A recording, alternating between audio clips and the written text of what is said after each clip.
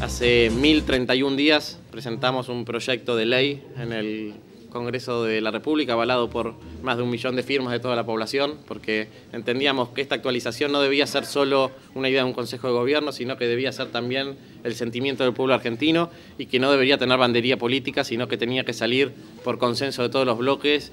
Y eso sucedió cuando el año pasado fue aprobado sobre tablas por unanimidad de todos los diputados presentes y entendíamos que estábamos muy cerca de tener la ley. Lamentablemente, algunas diferencias en el marco del Poder Ejecutivo entre interministerios, entre Jefatura y el Ministerio de Seguridad, hicieron que por un par de artículos la ley no avanzara y estuviese frenada. Después de la reunión de nuestro presidente mundial, que venía de, Venezuela, de acordar el ingreso de la ayuda humanitaria a Venezuela, se reunió tanto con la vicepresidenta de la Nación como con los distintos candidatos a presidente para este año y, con los senadores.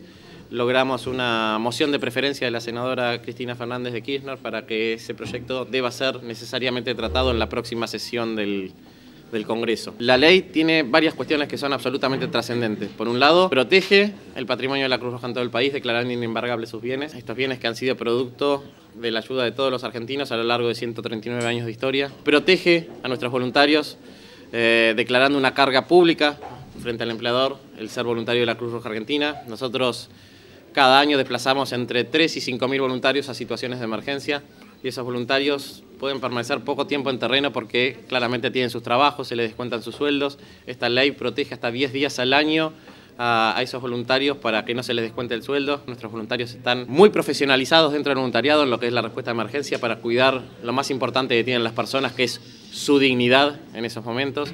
Esta ley también nos permite dejar de pagar peajes en las rutas argentinas cuando vamos a estas situaciones. Esta ley intenta que la Argentina deje de ser uno de los poquitos países del mundo que paga ayuda, paga IVA en la ayuda humanitaria. Hay un impuesto a la ayuda humanitaria en Argentina que hace que nuestros fondos rindan un 21% menos. También nos permite tener eh, algún espacio en la red federal de medios para transmitir nuestras acciones y poder conseguir eh, donantes, porque ustedes saben que la Cruz Roja no tiene para su ayuda humanitaria ningún aporte estatal, como sí ocurre en, todo el resto del mundo, y esta ley tampoco le da ese presupuesto, pero nos permite llegar más fácil a la gente para que gracias a ellos sigamos haciendo la ayuda humanitaria en nuestro país. Ojalá el miércoles una voz que no existe muy fuerte en el mundo, que es la voz humanitaria, el lenguaje humanitario, sea escuchada por nuestros legisladores, nuestros senadores, estén a la altura de lo que el pueblo ha marcado a través de este millón de firmas y le den a la Cruz Roja la ley que se merece.